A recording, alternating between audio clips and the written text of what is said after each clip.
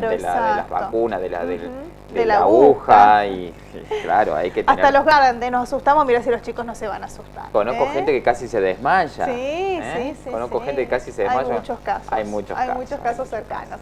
Pero eh, la verdad que un lindo día, Marci, va a continuar. Esperemos que continúe. Así es, por el bien de todos, por el bien de todos. aquí en la, en la República Argentina para que tengamos una vida mejor. Qué importante, qué importante. ¿Vamos a la próxima nota?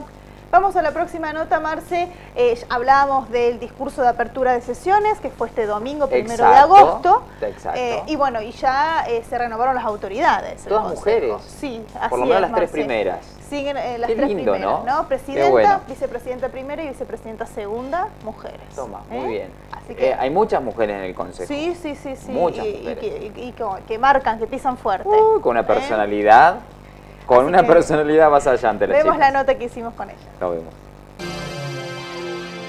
En el próximo periodo, que es el 2021-2022, se ha votado lo que es presidencia, vicepresidente primero, segundo y tercero. En esta oportunidad, bueno, repetimos en el cargo de la presidencia. Yo quiero agradecer especialmente a los concejales que depositaron su confianza en ese voto. Para mí es un honor y un compromiso para el próximo año legislativo.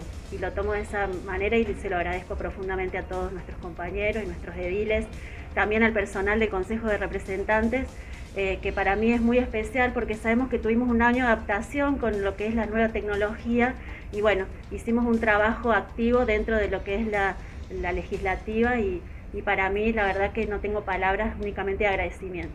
Y por supuesto, a todas las autoridades del Consejo de Representantes que hoy fueron elegidas, felicitarlos uno a uno porque realmente es un compromiso muy importante. Bueno, concejal ocupando la vicepresidencia primero. Sí, por suerte también agradecer el voto de confianza. Eh, por tercera vez consecutiva he sido elegida como vicepresidente primera. Para mí es un orgullo acompañar a la presidenta concejal Soledad Zacarías Estamos en una etapa donde el Consejo de Representantes tiene un protagonismo muy fuerte debido a la situación que estamos viviendo en la ciudad.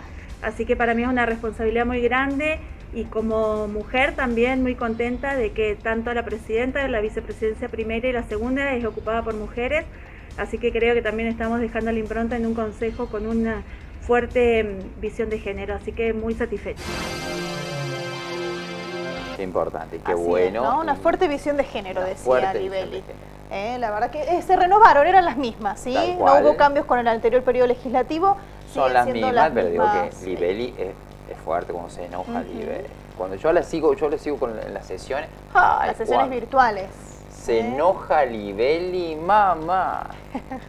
¿No te gustaría que se enoje con No, no me gustaría ser el marido de Libelli. No, ¿por qué? porque cuando se enoja, se enoja fuerte, se enoja fuerte no, pero se enoja fuerte y se les planta de lo lindo, ¿no? A mí me, gusta escucharlas a las mujeres del, del, consejo porque no se quedan atrás, marcan el territorio de una manera muy, muy fuerte. Muy bien, chicas, muy bien, así me gusta. Cambiemos de tema, Marce, hablamos de la semana de la lactancia materna, ¿no? Así es, una vez más, qué rápido que pasa el tiempo. ¿Se el año pasado estábamos haciendo lo mismo? La misma semana. Eh, la misma semana y esta vez...